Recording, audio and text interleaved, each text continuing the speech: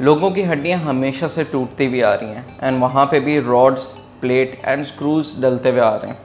उसी तरह का एक स्क्रू हमारी डेंटिस्ट्री में भी इस्तेमाल होता है, जिसको हम लोग डेंटल इम्प्लांट कहते हैं।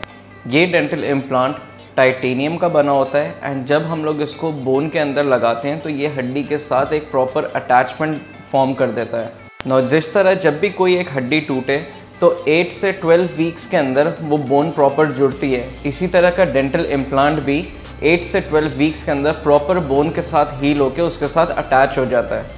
इम्प्लांट का जो सबसे बड़ा यूज़ है, वो है एक सिंगल दांत का रिप्लेसमेंट के लिए। जहाँ पे एक दांत मिसिंग हुआ, वो वहाँ पे हम लोग इम्प्लांट लगा के एक सिंगल मिसिंग दांत को रिप्लेस कर सकते हैं। एक डेंटल इम्प्लांट कितना सक्सेसफुल होगा, ये डिपेंड करता है पेशेंट की अपनी हेल्थ के ऊपर। ज़्यादातर केसेस में अराउंड 93 परसेंट से लेकर 98 परसेंट तक के एक इम्प्लांट का फाइव ईयर सर्वाइवल रेट होता है। एंड देन 10 से लेकर 15 ईयर्स तक ये अराउंड 70 परसेंट तक के सर्वाइव कर सकता है। आई होप ये वीडियो आप लोग को यूज़फुल लगी हो। मैं हूँ डॉक्टर ली रोशिद थैंक यू